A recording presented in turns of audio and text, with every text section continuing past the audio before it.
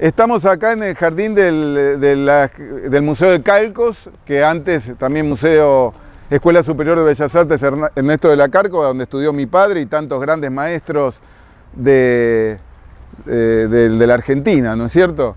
Y lo que vamos a ver en este jardín, tenemos también una colección de distintas esculturas. Esta que tenemos acá, que es Velázquez, un pintor español muy destacado, es de un escultor español que se llama Mariano Benliur que hace poquito estuvimos con la nieta de Mariano Benliur, perdón, con la viñeta. Este, es una escultura que ganó un gran premio ¿no? cuando acá se hizo la exposición del centenario en 1910 y ahora está ubicada en este lugar. Digamos que es una escultura muy, de, de, tal vez el escultor español más importante de fin del siglo XIX y principio del siglo XX.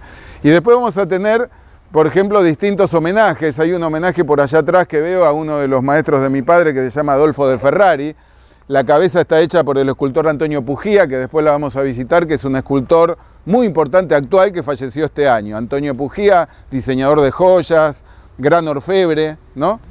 Y después tienen una fuente que tiene una decoración de mayólicas, que tiene mucho que ver con un periodo de nuestra historia del arte, que es el periodo neocolonial, ¿no? cuando empezamos a hacer edificios, decoraciones que homenajeaban a España. Un poco tardía, ¿no?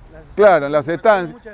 Casi todo lo que vemos que el turista menos informado confunde con el periodo colonial, en realidad es neocolonial, es nuevo, porque nosotros hemos destruido casi todo nuestro patrimonio colonial español y en 1910, 1920, 1930, como con un sentimiento de culpas quisimos recuperarlo y entonces está todo el arte neocolonial.